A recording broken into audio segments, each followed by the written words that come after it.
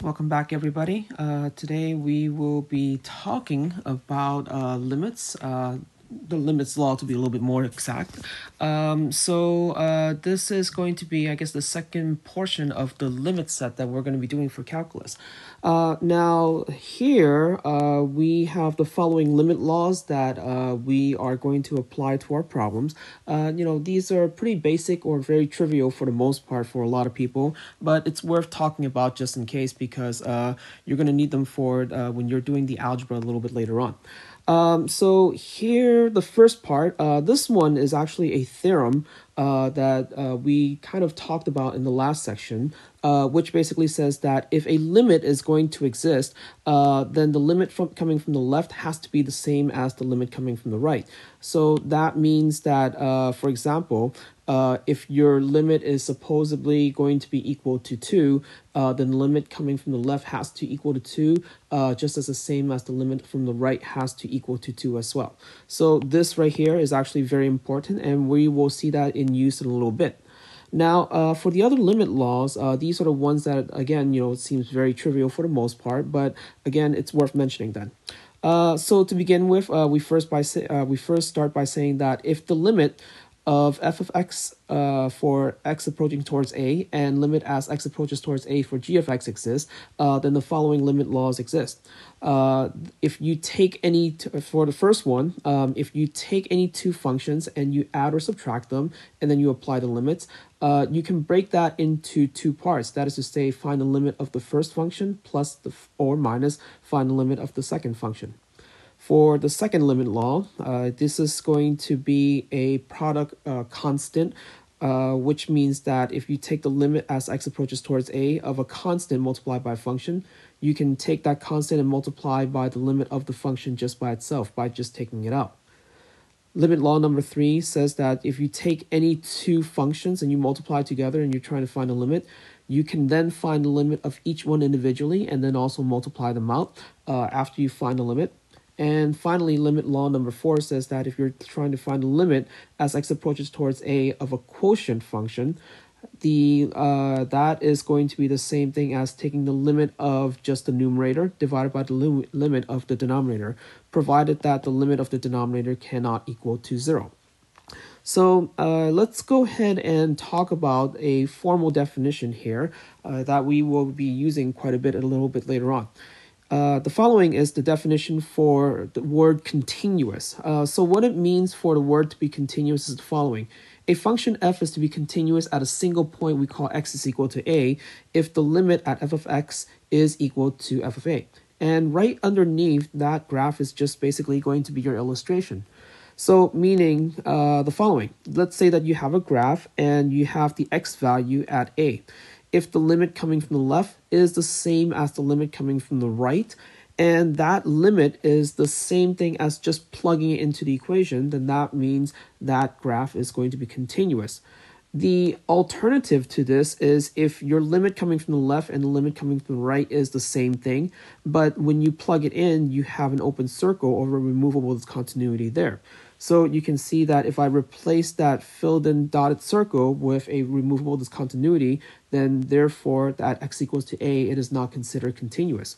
So that means, once again, that if you try to find a limit of a function at a, at a certain point x is equal to a, uh, it is considered continuous if that same answer is as if you plug in just f of a itself.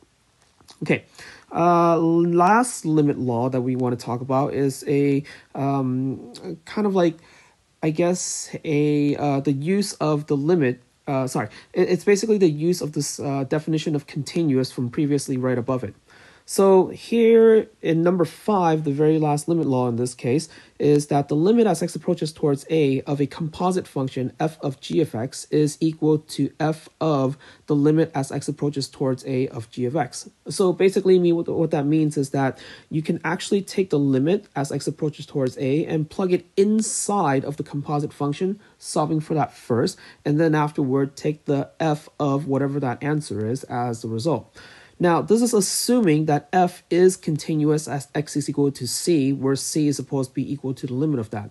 And again, for the most part, this seems very uh, direct, but uh, that is going to be something that is not going to be as easy as we'll see in an example uh, uh, up ahead.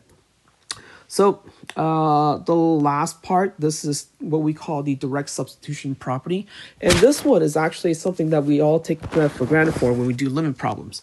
Uh, this is what it says. If f is a polynomial or a rational function and at x equals to a is in the domain of f, then the limit as x approaches towards uh, a of f of x is equal to f of a. So this essentially is saying that, hey, if you have a function f, which is a polynomial or a rational function, you can just directly plug in x is equal to a into the equation and then afterwards uh, solve for what the limit is, or actually not the equation, but into the expression. This is not only for polynomials or rational functions. This can also be applied to any continuous function where the domain is all real numbers. So for example, if f of x is, let's say, a trig function like say sine of x or cosine of x, where x can be any real numbers for the domain, uh, or if f of x is an exponential function, then this actually also works out. So you can directly just go ahead and plug it in. So let's now look at some of the uh, numerical examples uh, where we apply some of these uh, limit laws then. So the first one over here says evaluate the limit as x approaches towards uh, the square root of 2 uh, for this expression over here on the right. So uh, what we said in the last time is that the very first thing that we always try to do is try to plug in the limit as x approaches towards square root of 2. So basically using direct substitution. Now, looking at the expression on the right-hand side, you'll notice that this is a polynomial multiplied by another polynomial. So therefore, it is a polynomial. So what that means is we can apply this direct substitution thing. And in fact, that's what we always should try to do first, uh, unless you know something funky happens afterwards. So let's go ahead and plug in x equals to square root of 2. So we will get the square root of 2 quantity squared plus 5 multiply by the square root of 2 multiply by the square root of 2 plus 1. So keep on moving on. Uh, the left hand side, the factor over there, you're going to get 2 plus 5 and then multiply by the other factor, which looks like it's going to be 2 plus 1. So uh, multiplying all this out, well, adding everything in between, that's going to be 7 multiplied by 3. So the answer is equal to 21. So that's going to be my limit then. Now, uh, in the second case right here, um, I want to evaluate the following limit then. Uh, again, just like the same as before, we're going to go ahead and just plug in x equals to 9 first just to see what it happens. If I do so, we will get 9 multiplied by the square root of 9 minus 3, all divided by 9 minus 9. Now, if I keep cleaning it up, you're going to get 9 multiplied by, uh, looks like it's going to be 3 minus 3, and the bottom looks like it's going to be 0, so it's 9 times 0 over 0. And be very careful, that actually does not cancel out and give you 9 as a result. That is actually a faux pas in uh, algebra. Um, instead, remembering that if you have 0 over 0, then that's where the removable discontinuity comes into play. And uh, that means that I need to most likely factor something out from both top and bottom in order to figure out what this limit is, in order to figure out what the removable discontinuity at that limit. So uh, looking at this problem now, uh, we can't use direct substitution, uh, but instead, let's go ahead and play around this algebraically. Now, it might be a little bit hard to see, but uh, if you look at the top part, you'll see that this guy right here, the square root of x minus 3, that's a problem. And the bottom part, the x minus 9, is also a problem. Uh, but look a little bit closely, uh, you'll see that uh, the top part, that is a an example of a minus b as a composite uh, function. And then, uh, sorry, a, a composite factor uh, whereas, I'm sorry, not a composite, a conjugate factor of a minus b. Whereas the bottom part, that is the uh, the conjugate uh, a squared minus b squared uh, when you multiply everything out, getting a difference of square. So what that means is uh, the bottom part, I can actually uh, factor that into uh, a plus b multiplied by a minus b. So if we do so, here's what you get then the limit as x approaches towards 9, the top part, x times the square root of x minus 3, The bottom part, x minus 9, remember, we're going to look at that as a difference of square. So one part will be the square root of x minus 3. The other part will be the square root of x plus 3. And right there, we can now see the bottom part, the part that is problematic is really the square root of x minus 3 because then if you cancel both top and bottom by that factor, you're going to get rid of that 0 over 0 that we got earlier.